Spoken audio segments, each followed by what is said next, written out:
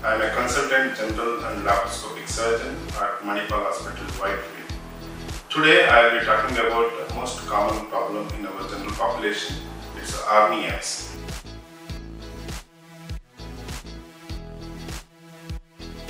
Hernias in common language, what we call uh, this, is a protrusion of any body part to the wall that contains it, to the weak spot.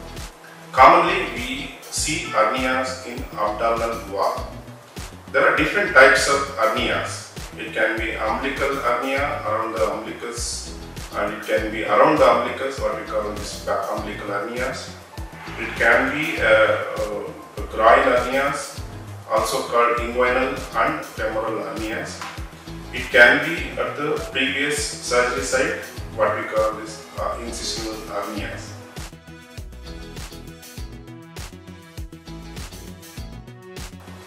The symptoms of uh, hernias are basically there will be a bulge, it can be a painful or painless bulge. Initial, initially there will be the bulge which is painless. Gradually when it progresses can become uh, painful. However, uh, sudden uh, pain can, uh, with swelling can happen uh, commonly also. Uh, other symptoms are it can be a dragging sensation uh, at the bulge. And initially these bulges are uh, reducible. They go inside when we relax and it comes out when we strain. The uh, common straining factors are it can be uh, lifting weights or it can be a cough or when you're doing a sternus workout.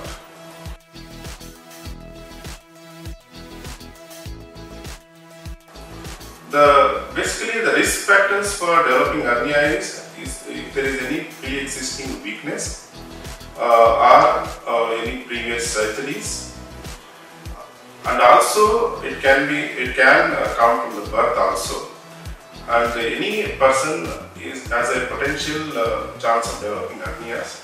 The common sites, as I explained, can be a groin or it can be around the umbilicus.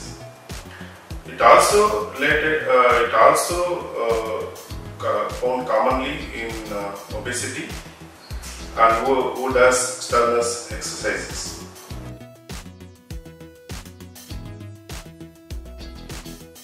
Basically, these bulges uh, can contain part of the uh, intestine. So, whenever there is a swelling, uh, the when it starts giving symptoms like pain or driving sensation that requires treatment. So the other essence of treatment is uh, uh, since these bulges contain intestine, sometimes the, uh, the amount of intestine comes out more, causing blockage of the intestine, which can lead to fatal problems, something like gangrene of the intestine, what we call strangulation which requires immediate emergency surgery.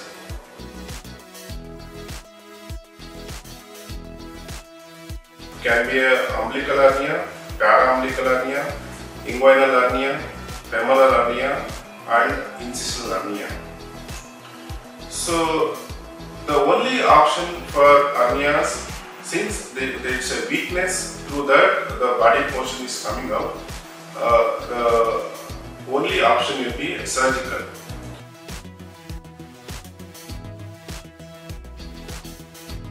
So surgery, depending on the type of hernias, we design the surgeries.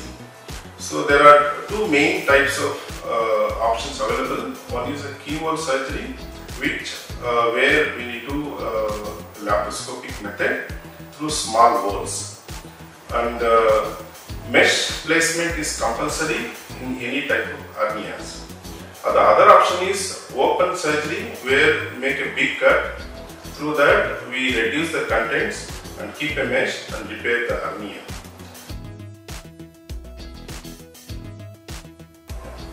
My message to the public is any person who has a bulge noticed in any of these specified locations, please consult a uh, general surgeon uh, for further evaluation and management of the uh, hernias before it becomes complicated.